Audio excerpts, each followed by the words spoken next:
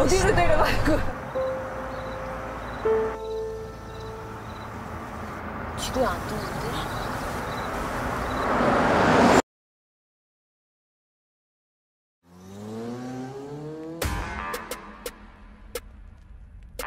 지금부터 제대로 시작해보려고 합니다. 교통사고를 가장한 희생자였죠. 기정이가 그렇게 손재주가 좋다며? 포토샵 같은 것도 잘하고.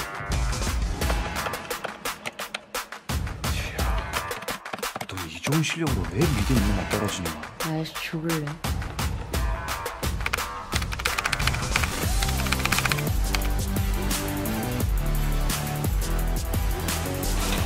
걸렸어.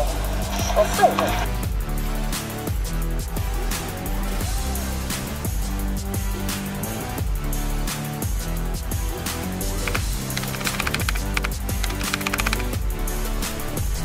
안녕. 좋아해.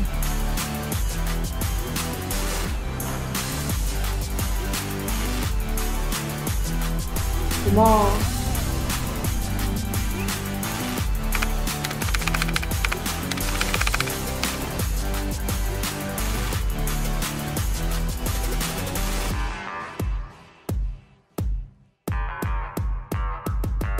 당신 무슨 짓을 한 거야?